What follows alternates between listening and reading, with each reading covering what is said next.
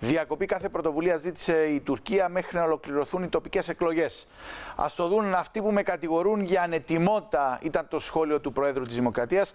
Πάμε στην αίθουσα σύνταξη. Ο Χρήστος Χαραλάμπους έχει αναλυτικά όλες τις πληροφορίες. Χρήστο, καλησπέρα, ορίστε. Καλησπέρα σας. Το γνώριζε και το περίμενε η Λευκοσία ότι η Τουρκία θα τραβήξει το χαλί κάτω από τα πόδια της ειδικής απεσταλμένης του Γενικού Γραμματέα.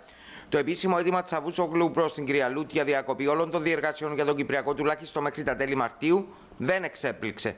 Αντίθετα, Γι' αυτό άλλωστε και ο πρόεδρος της Δημοκρατίας θέλησε σήμερα μέσω αυτής της εξέλιξης να αντιστρέψει τα πειρά που δέχεται κυρίως από το Αγγέλ σε σχέση με τη δική του βούληση και ετοιμότητα για επανέναρξη των διαπραγματεύσεων. Την ίδια ώρα, αν και δεν αλλάζει ο προγραμματισμός και η κυρία Λούτα αναμένεται αρχές Φεβρουαρίου στην Κύπρο, είναι σαφές πως η εξέλιξη προβληματίζει και θα είναι ένα από τα ζητήματα που θα συζητηθούν με την Αμερικανίδα όταν αυτή επιστρέψει στο νησί. Να παρακολουθήσουμε τη σχετική δήλωση του Πρόεδρου της Δημοκρατίας και να επανέλθει. Αυτό απαντά και σε κάποιους που ασκούν κριτική είναι ότι τάχα δεν έπραξα ότι έπρεπε να πράξω για να ξεκινήσει ο διάλογος. Από δικής μας πλευράς έχουμε ξεκαθαρίσει τις προθέσεις μας, έχουμε παραδώσει ό,τι έπρεπε να δώσουμε από πλευράς γραπτών κλπ. Και, και συνεπώς αυτό που αναμένουμε είναι να, η, την επάνωδο της κυρίας Λουτ για να δούμε πώς χειριζόμαστε το θέμα.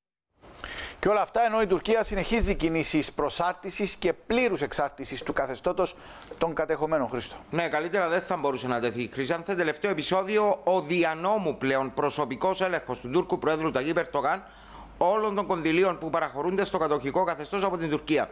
Η αλλαγή του συστήματος δίνει τον πρώτο και τελευταίο λόγο στον Ερτογάν για τη χρηματοδότηση του ψευδοκράτους.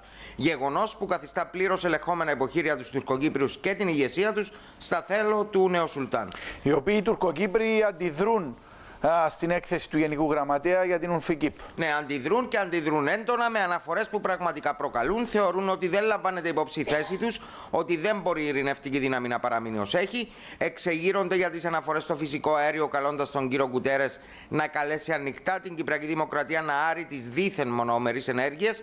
Ενώ σε ό,τι αφορά στα μέτρα οικοδόμησης εμπιστοσύνης, ισχυρίζονται πως είναι η ελληνοκυπριακή πλευρά που δεν επιτρέπει η εφαρμογή τους, όπως είχε αποφασιστεί. Δεν παραλείπουν βεβαίως να σπέβουν να πιστοθούν τις επισημάνσεις του κυρίου Κουτέρε, λέγοντας ότι είναι ουσιαστικά οι θέσεις που πρόθεσε η τουρκοκυπριακή πλευρά. Όλα αυτά μέσω ανακοίνωσης του εκπροσώπου του κυρίου Ακιντζή, του Μπαρίς Μπουρτσού. Ευχαριστούμε πολύ, Χρήστο Χαραλάμπου, θέτοντας την Τουρκία.